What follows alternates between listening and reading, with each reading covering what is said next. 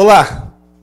Só para registrar, muitos de nós hum, às vezes ficamos o tempo todo reclamando da nossa cidade.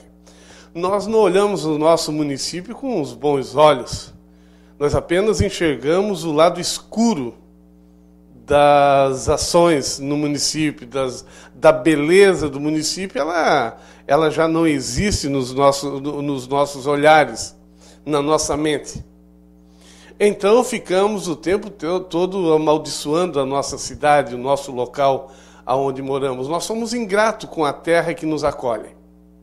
E isso não é bom. Não é bom porque o universo ele é, ele é, é é, ele, ele, é, ele compensa você por isso. Ele é recíproco. Se você não ama a sua própria cidade, você não ama a, a, sua, a sua gente, o seu povo. E se você não ama o seu povo, você não ama nem a si mesmo. Você não está de bem com você mesmo. A nossa cidade, ela sempre vai ter alguns problemas, sempre vai ter dificuldades, Algum, alguns momentos um pouco mais, outros momentos um pouco menos, mas isso faz parte da vida. É bem verdade que às vezes depende, algumas coisas dependem dos nossos administradores, depende das pessoas que administram o nosso município. Mas nem por isso é motivo para ficar torcendo pela desgraça ou achando ou falando mal da nossa cidade, dizendo que a nossa cidade não presta. Estou falando aqui de Morro da Fumaça, mas estou falando para você aí da sua cidade também, aonde você está. Muitas vezes nós ficamos olhando só o lado negativo. E tem pessoas que fazem isso o tempo todo. Não vejam alegria, não vejam coisa boa no, no seu município, na sua cidade, no seu bairro. Olham para os seus vizinhos e reclamam. Olham para a rua e reclamam. Olham para o meio ambiente e volta e reclamam o dia está tá chuvoso, está reclamando, o dia está com sol brilhante, bonito, elas estão reclamando. Falou de, de ações na comunidade, a reclamação. Falou de um, da associação de moradores, lá vem a reclamação. Falou dos representantes políticos, nem se fala, nada presta, tudo é ruim. Aí daqui a pouco, como já falei outras vezes, ela olha para ela no espelho e não a, não a reconhece e fica falando dela também, né? dizendo que ela não presta, que ela é isso e aquilo. Você está vendo como, como é que eh, as coisas é, devem estar acontecendo? Muitas vezes tem pessoas, olha, existem pessoas que muitas vezes não dá para a gente ficar perto. Ela é, é, é um, uma coisa ruim o tempo todo. Não é fácil aturá-la. É, e muitas vezes elas acham que estão agradando, falando mal de tudo e de todos, porque existem aquelas pessoas que, às vezes, principalmente nas redes sociais, postam uma bobagem lá, outros vão embaixo e curtem aquilo ali só para ver o circo, o circo é, pegar fogo. Né? O circo, o círculo pegar fogo. Só por isso, só para ver a coisa é, é, ficar mais difícil ainda. E ela acha que está agradando falou desgraça, falou coisa ruim, aí vem uns aplausos embaixo ali naquelas redes sociais, tanto no Facebook, nos seus sites, enfim, né, nos seus WhatsApps. E ela acha que está agradando, com seu urubu o tempo todo em cima da sua mente, é, com aquele corvo dentro da sua mente, do seu subconsciente o tempo todo. E ela acha que está agradando. Aí vive falando mal de tudo e de todos, o tempo todo não para nunca, é dia e noite. Parece que ela dorme e acorda com a coisa ruim. Parece que fica a noite toda meditando coisa ruim para poder estar falando no dia seguinte. Essas pessoas não contribuem nada, nada, nada com, com a cidade. Estou falando hoje da cidade onde nós moramos. Em cada cidade tem essas pessoas. E às vezes essas pessoas fazem um barulho tão grande, tão grande. Elas usam os meios de, de comunicação local, até a própria palavra, a conversa entre amigo e grupo, para poder colocar coisa ruim na cabeça dos outros. E aí, quem não conhece fica achando que aquilo é verdade. É, fica achando que é verdade mesmo, aquilo que, porque uma palavra maldita, ela custa sair das nossas mentes, né? Porque elas nos provocam medo. espanto. E quando essas palavras, eh, esses assuntos, essas notícias nos provocam medo e espanto, o nosso subconsciente automaticamente ele grava.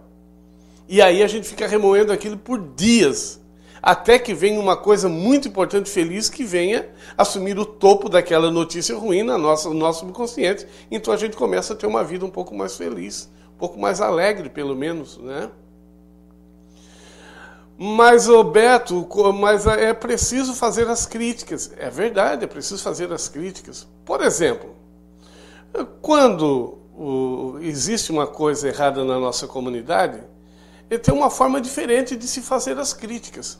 Por exemplo, ver e identificar onde está a associação de moradores da comunidade. Ela existe? Não, não existe. Opa, então, já que eu quero fazer uma crítica e não existe uma associação de moradores, eu vou convidar alguns amigos para discutir aquele problema. E eu reúno alguns amigos e vou discutir alguns problemas. Aqueles problemas que estão pendentes naquela, naquela comunidade. Ah, mas é, é, é, tem, tem, associação? Tem, é, não tem associação, mas tem um conselho local de saúde. Vamos lá no conselho local de saúde ou de segurança que tem no bairro. Né? Vendo isso, feita a discussão, leve para o poder público. Não adianta ficar falando, envenenando os vizinhos, envenenando as pessoas. Não adianta ficar usando os meios de comunicações para postar bobagens. Vai, chama o prefeito da cidade, nada mais é do que seu funcionário. Então você vai ficar falando mal o tempo todo do seu funcionário? Não, você não deve fazer isso. Você tem, você tem que chamar esse seu funcionário, que é o prefeito. É bem verdade que tem muitos prefeitos aí arrogantes, né? Vereadores também arrogantes, que acham que são dono do município, dono da, do mandato, que não são, quem é o dono é o povo, e o povo, e eles recebem é, os valores que recebe, eu estou no cargo graças ao povo, graças a todos nós. Então, o prefeito e o, o prefeito e os vereadores não se mandam. Como também não se mandam os deputados, senadores, governadores, presidentes, juízes, né, que são pagos com dinheiro público. Então não se mandam. Quem manda é o povo. Ah, mas então eu posso lá dizer qualquer coisa? Não posso, porque eles merecem também respeito como nós gostamos de ser respeitados, eles também têm que seguir uma determinada norma que certamente fomos nós que aprovamos em relação a essas questões. De respeitar as autoridades, aquelas que nós escolhemos para dirigir a nossa cidade, cuidar do nosso bem-estar. Então nós precisamos, precisamos estar ligado nisso. Não podemos sair por aí bagunçando. Ah, porque então eu sou eu sou eu sou o chefe, eu sou o prefeito é meu funcionário, o vereador é meu funcionário, o juiz é meu funcionário, eu, eu vou então sair quebrando. Não. Porque você é o patrão, você que paga os impostos, você não paga sozinho, então você não tem o direito de bagunçar as coisas. O que é que você pode fazer? Reunir em comunidade e discutir as ações para que junto chame o prefeito na sua comunidade e discuta a prioridade. Chame o prefeito, diz prefeito, vem cá. Olha, nós temos esse problema e precisa ser resolvido. Vereadores, vem cá.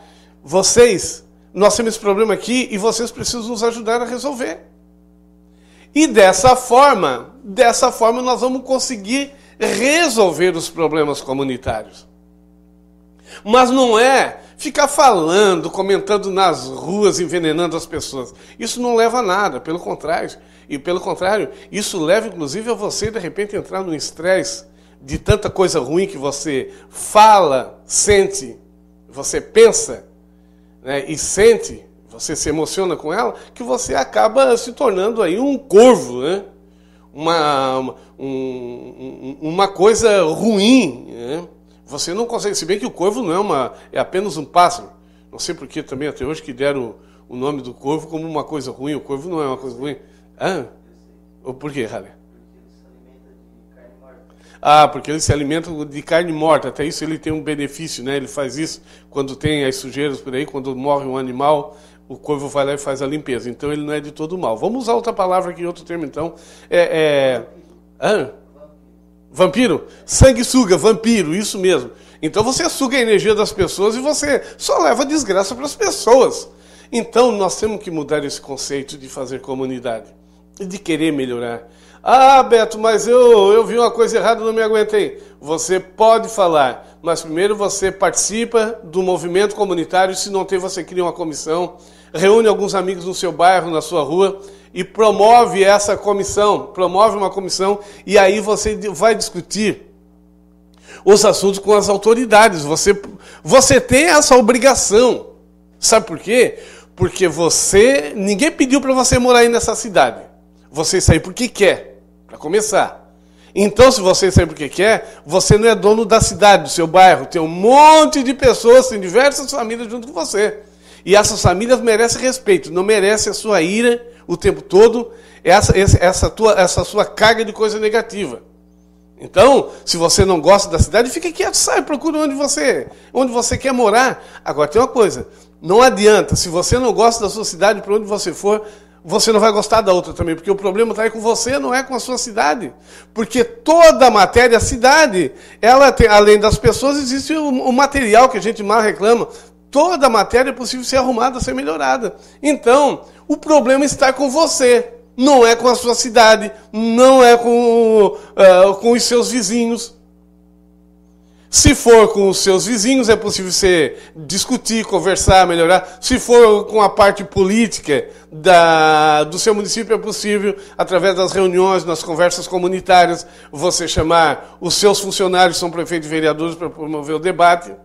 Agora, não seja uma coisa ruim sua, aí uma, uma, uma um, um, uma, um estorvo aí na sua comunidade. Não seja. Seja uma coisa boa. Se você até agora usou dessa, dessa temática para poder chamar atenção, não faça mais isso, chame atenção de outra forma. Ao invés de você sair na, nas ruas falando o tempo todo, falando mal, ou estar sempre de, de mau humor, sempre de mal com a, com a vida, mude seu pensamento. Mude, está na hora de mudar. Nunca é tarde para a gente recomeçar. E você pode até continuar fazendo as suas críticas, mas faça de uma coisa de uma forma diferente, organizando a comunidade, ajudando a resolver os problemas. Olha, tem gente, tem gente tão ignorante, tão ignorante, que quando, por exemplo, vou falar aqui na parte política, tem gente tão ignorante que às vezes um partido que não é o dela está no governo. Ela vive o tempo todo xingando, falando mal, procurando destruir, porque ela é partidária. E ser partidária é igual ser um religioso nato. Ser um partidário nato é igual como ser um religioso nato. É igual como ser um, um, um, um torcedor nato, fanático. Nem nato, é fanático. Né? Só atrapalha.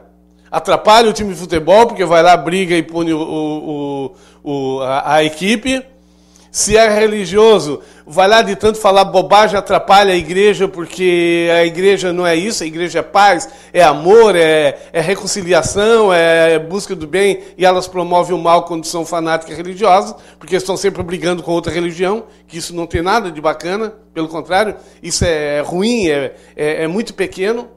E na política não é diferente. E tem pessoas que falam tão mal, tão mal, só que daqui a pouco o partido dela vai para o poder. Aí ela vai administrar.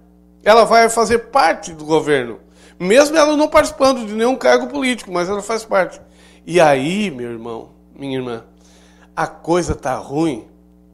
E aí ela fica quietinha e começa a defender coisas ruins do seu município, porque é o seu partido que está no poder. Ela não tem a coragem, a capacidade de criticar o seu próprio partido, o seu próprio governo. Isso se chama ignorância ignorância política, que eh, nada contribui. Porque o bom político, independente da sua. E tem muitos bons políticos, independente da sua sigla partidária, ele está sempre cobrando do seu partido. Está sempre cobrando aí da, da, administração do seu partido. Né? As cidades estão, estão divididas entre partido A, B ou C, que coisa ridícula. Né? Ah, mas eu gosto do meu partido. Bem, pode gostar, mas isso não, isso não deveria ser uma, um, um divisor de águas. Se o meu partido. E outra coisa, ó, todos os partidos estão envolvidos com corrupção no país. Todos. O seu, o meu, o do Ralha, do Volney, que está aqui, de qualquer uma estão envolvidos. 100% envolvidos com corrupção. Ou um pouco mais, um pouco menos. Mas por que, que são envolvidos em corrupção? Por causa desse tipo de pessoa, dos fanáticos partidários, que mesmo sabendo que seu partido está errado, fiquem cobrando. Eu já saí de dois partidos duas vezes, hoje estou sem partido, saí por causa disso, porque eu não concordava com as coisas erradas que estavam acontecendo. Ah, eu paguei um preço? Não, não paguei um preço, não, não paguei um preço. Ou se eu paguei, eu paguei um preço que valeu a pena. Porque eu não posso concordar com as coisas erradas que estão acontecendo, seja no meu partido, na minha religião, seja no. O time de futebol a gente releva, porque é mais um, esporte mesmo. Dentro da minha família, dentro da pessoa que eu, eh, junto com as, com as pessoas que eu convivo, eu não posso aceitar que elas cometam erros um atrás do outro e eu fique calado. Eu tenho que procurar contribuir para corrigir isso. E o grande problema do município, se eu não gosto do meu município, é isso. Eu não gosto do meu município porque, na verdade, o problema está comigo. A partir do momento que eu começar a amar a minha cidade, o meu município, o meu bairro, as pessoas que convivem ali, eu vou começar a olhar com bons olhos, vou começar a mudar a minha forma de fazer essa política comunitária, que é de bem-estar, mesmo fazendo as críticas ou autocríticas né, é, é, relacionadas a diversos assuntos, que é importante ser feito, mas que isso seja feito com ternura. Não pode ser com ódio, com raiva. Não pode ser com arrogância, com maldade. Não pode ser com, por fanatismo. É preciso ser por, por convicção, por, por coerência, por responsabilidade social. É preciso é, é, ter respeito com as pessoas. É preciso ter respeito com o nosso município, com a nossa cidade. É preciso ter respeito com, com, com, com conosco mesmo. O dia que nós começar a mudar a ter essa mente mais evoluída, certamente nós vamos contribuir muito com o nosso município. Então, você aí que é fanático, pare com isso. Não, se você tem aí uma paixão pelo seu, pela sua sigla, seja ela religiosa, esportiva ou partidária, tem problema. Mas seja justo. Seja justo. Não permite que o seu partido faça coisa errada e você aplaude porque é do seu partido. Não fique criticando o outro, mesmo nas coisas boas, só porque só porque você, você é contra, só porque não é do seu partido. Né? Não faça isso. Não seja mais uma pessoa ignorante aqui nesse planeta. Está na hora de a gente mudar. É possível mudar e melhorar as nossas vidas. É possível. Feita essa conversa comunitária de hoje, nós já estamos. Já começamos um pouquinho de atraso, né, Harry? Que hora é agora? Temos aí? Vamos lá? Já está na hora da gente parar. Está vindo aí o Valnei de Bem, já está aqui no nosso. Às, às 9 horas, né? O Valnei de Bem com o programa O Despertar já vai entrar conosco. Tem alguém aí, Harry? Não tem ninguém? Ninguém participou hoje? Pois bem, foi compartilhado com os outros canais também? Foi? Então tá bom. Eu vou ficando por aqui. Uh, o Valnei de Bem já está entrando. Nós vamos a um breve intervalo, então você já entra aqui no, no programa MF Entrevista com, com o quadro O Despertar. Voltamos já. Agora, claro, no comando de o coach Valnei de Bem. Voltamos já.